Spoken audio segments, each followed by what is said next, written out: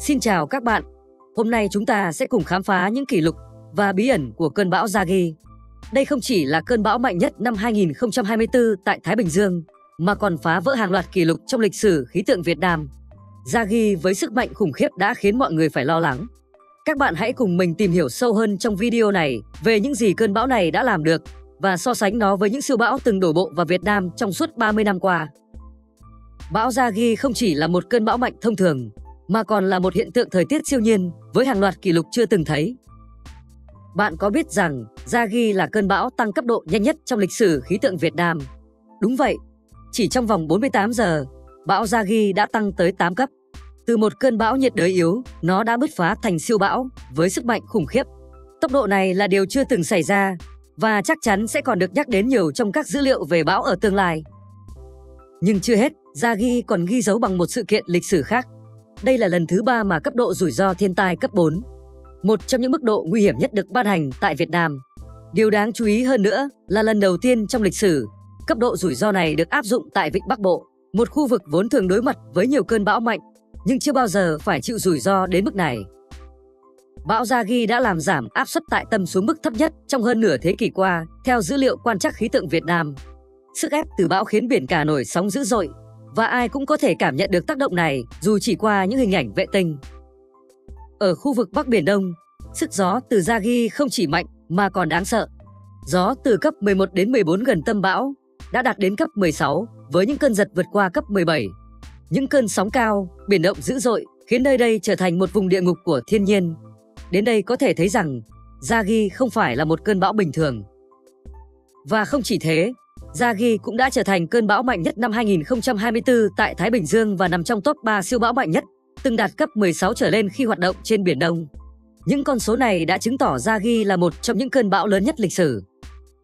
Đến đây các bạn có thể thắc mắc, vậy thì sức gió của bão Zagi đáng sợ như thế nào? Và ở Việt Nam chúng ta phân chia các cấp độ gió ra sao? Hãy cùng mình tìm hiểu nhé! Theo tiêu chuẩn khí tượng của Việt Nam, bão được phân loại dựa trên sức gió. Và tất nhiên, sức gió càng mạnh thì tác động của nó lên môi trường, đặc biệt là cây cối và các công trình càng lớn. Cấp 6 đến 7, sức gió từ 39 đến 61 km/h. Gió ở mức này đủ để lay động những cây nhỏ, rụng lá nhưng chưa gây thiệt hại đáng kể. Thế nên khi gặp gió cấp này, bạn có thể vẫn cảm thấy khá an toàn. Cấp 8 đến 9, sức gió từ 62 đến 88 km/h. Đây là lúc gió bắt đầu mạnh hơn và có thể gây gãy cành cây, cuốn bay những vật dụng nhẹ như mái tôn nhỏ, ô dù. Tuy nhiên, những cây lớn vẫn đứng vững và thiệt hại thường chỉ xảy ra với các công trình không kiên cố. Cấp 10 đến 11, sức gió từ 89 đến 117 km/h. Với gió mạnh đến mức này, các cành cây lớn có thể bị gãy, thậm chí có thể làm đổ những cây nhỏ và làm hư hỏng mái nhà. Đây là lúc bạn cần đảm bảo ở trong nhà và tránh xa những khu vực có cây cối. Cấp 12 đến 13, sức gió từ 118 đến 149 km/h. Gió ở mức này được xem là cuồng phong, có thể dễ dàng bật gốc cây cổ thụ và phá hủy những công trình yếu kém. Nếu bạn sống gần ven biển, đây là lúc sóng biển có thể cao vút, gây ngập lụt và thiệt hại nghiêm trọng. Cấp 14 đến 15, sức gió từ 150 đến 184 km/h. Đây là cấp độ gió của một siêu bão thực sự. Cây cối, nhà cửa và xe cộ đều có thể bị cuốn phăng. Những gì còn lại sau bão chỉ là sự đổ nát.